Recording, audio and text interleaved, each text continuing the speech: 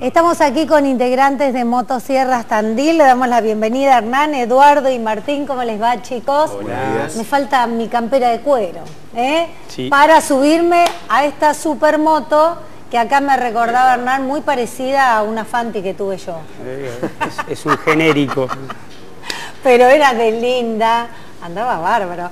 Bueno, hablando eh, de esta y tantas motos que van a estar todas juntas, ¿dónde? Eh, bueno, este domingo 29 en el Paseo de los Españoles a partir de las 11 de la mañana. Invitamos a todos los que quieran ir. Estamos organizando una exposición de motos donde va a haber un abanico de motos. Esto, bueno, es como una muestra gratis de lo que va a haber. Era la única, podíamos subir Pero un Norton esta, ¿qué- 500, ¿Qué, pero... moto es?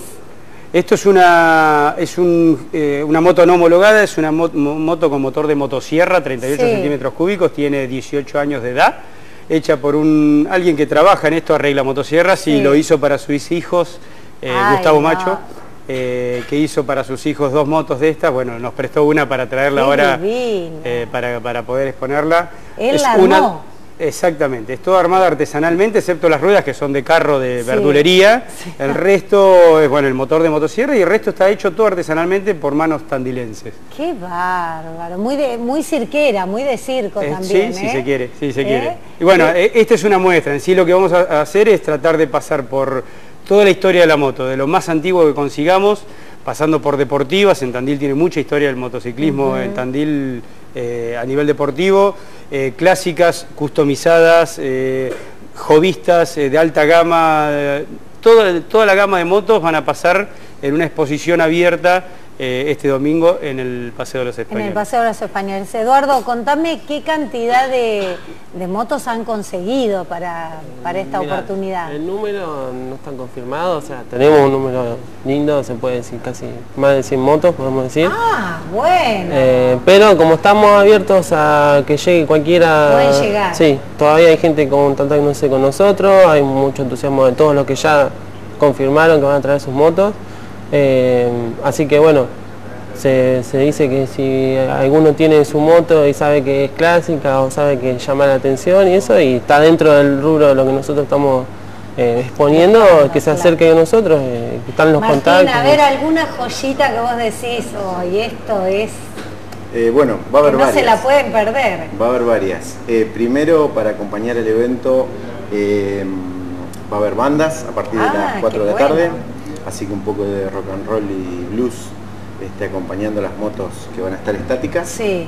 Eh, también vamos a tener stand que están relacionados a, a las A motos, o sea, claro. ropa, accesorios, eh, customizaciones, etcétera.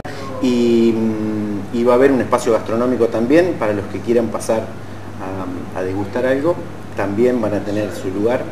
Este, y bueno, y, va- y como joya va a haber eh, algunas motos eh, únicas, digamos, Hernán, ¿no? Eh, A ver, si Por el todo modelo. alguna que vos decís, ay, Si todo bien, eh, a ver, nos dijeron, por ejemplo, hay una Remonot, una moto muy rara, que hay cinco en el mundo, eh, se hizo en Mendoza, ¿Cómo fue la primera. Remonot. Remonot. Eh, cilindrada 40 centímetros cúbicos, 50, algo así. Es muy raro eso, es de Mar del Plata, es muy probable que venga. Hay cinco en el mundo, fue la primera moto eh, homologada en América, se hacía en Mendoza.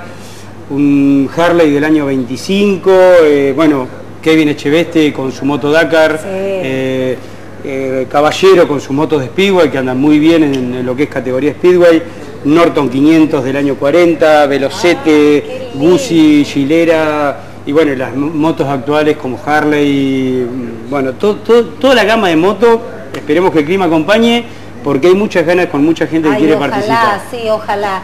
Este, porque esto arranca a qué hora? Esto arranca a partir de las 11 de la mañana y con un tope de 23 horas. Eh, lo que por eso invitamos a la gente, porque aparte de poder ver motos, eh, disfrutar de los stands, del espacio gastronómico, eh, está apuntado también a la concientización vial. Van a participar. Eso, eso quiero hacer un, un detalle aparte, porque ustedes siempre han sido muy este, conscientes y educadores de- del buen motociclista, de ir como corresponde, de usar casco, de respetar eh, las señales. Eso, la verdad que Nosotros disfrutamos la moto de Sí. esa forma y la mejor forma es cuidándose. Eh, a veces el, el, el- el siniestro vial puede hacer que no tengas la oportunidad de seguir haciéndolo. Entonces trabajamos y, y tratamos todo el tiempo en lo personal de cuidarnos. Y Porque por ahí, que se ha hecho en los últimos años tantos accidentes y tanta tanto mal uso de la moto que la gente dice, ay, la moto, no, no. Y en realidad es una, una La- la actividad moto es una herramienta. plástica, Sí, y aparte eh, es algo a hacer a conciencia.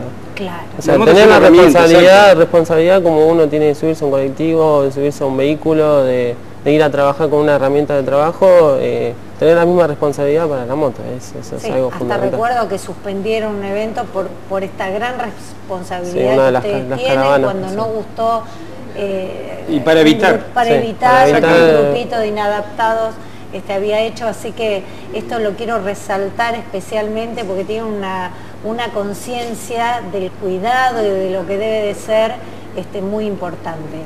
bueno, en, en eso hace ya varios años que trabajamos junto con el municipio, hemos- sido invitados y ahora es como, eh, digamos, eh, son pocas las oportunidades que se puede hablar sobre siniestro vial.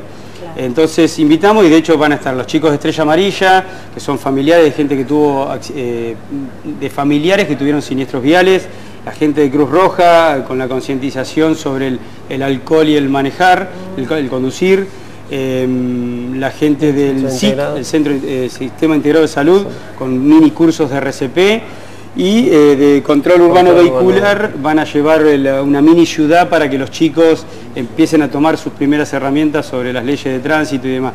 Vamos, por eso que está muy abierto y va a estar muy lindo, o sea, en un lugar público, si el clima acompaña va a ser algo muy lindo y, y Esto esperando y apuntando a tomar mira, creo que esto sería un puntapié muy interesante para achicarlo y armarlo, para ir por las distintas escuelas brindando esta información que ustedes van a dar. Nosotros estamos trabajando sobre eso. Participamos en las Ah. escuelas, participamos siempre cuando está la campaña, que es la semana de la seguridad vial que se hace, eh, no, no me acuerdo bien en qué mes que Para- se para hace, julio. para julio.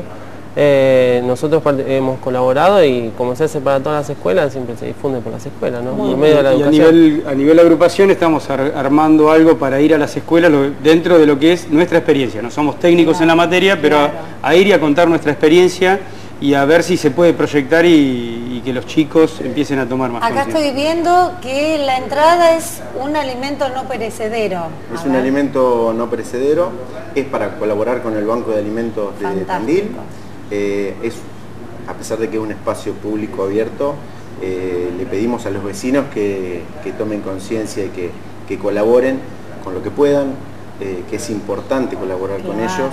Eh, o sea que no va a haber una entrada ni va a haber un, digamos, un valor Claro. este, Llevar un alimento para colaborar. Un alimento para colaborar con, con el Chicos, felicitaciones. Ojalá el tiempo acompañe porque realmente es no solo es una muestra, sino está abordado de distintos lugares y eso realmente es muy, muy interesante. Bárbaro, y te- Gracias. déjame agradecer eh, Sí. a, bueno, a los expositores sobre Claro. todo, que sin Son ellos este importante. evento, este evento pierde su esencia, así que a todos los que pudimos y nos dieron la palabra, muchísimas gracias por lo menos por entenderlo Porque es y un gran esfuerzo también. Exactamente, exactamente. Y a los que no vimos y se pueden acercar, los esperamos. ¿eh? Ahí está, si alguno tiene algunas de estas reliquias en su casa, bueno, acérquense y contáctense con los chicos de Motosierra Tandil. Se viene la tercer Expo Moto en el Paseo de los Españoles el domingo. A partir de las 11, todos a disfrutar. Chicos, muchas gracias. Gracias Nos vamos con